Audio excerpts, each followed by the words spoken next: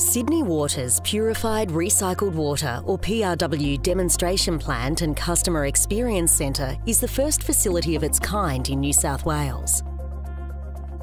It will demonstrate the treatment technology used to produce purified recycled water, supplementing our raw water supply. After being treated at the Quakers Hill Water Recycling Plant, wastewater is fed to the demonstration plant, where it undergoes several treatment processes, starting with ultrafiltration. This process pushes water through membranes with tiny pores, removing any particles and suspended solids that are too big to fit through the holes.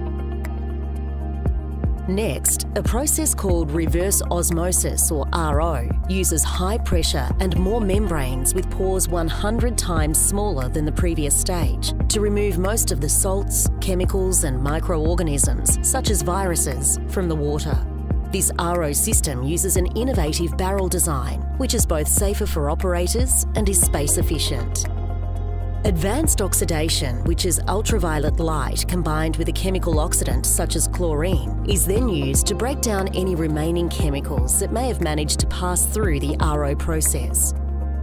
And finally, the same as we do for our drinking water, chlorination ensures both the water and pipes are free from any remaining microorganisms, producing high quality water that meets the Australian guidelines for water recycling. All our treatment processes have continuous online monitoring to ensure all performance parameters are maintained. Any water not meeting our guidelines is diverted and not supplied. Water produced here at the PRW demonstration plant will be used on site for cleaning and irrigation. It's an exciting time for Sydney Water as we continue our contribution to providing Greater Sydney with a resilient and reliable water supply for the future.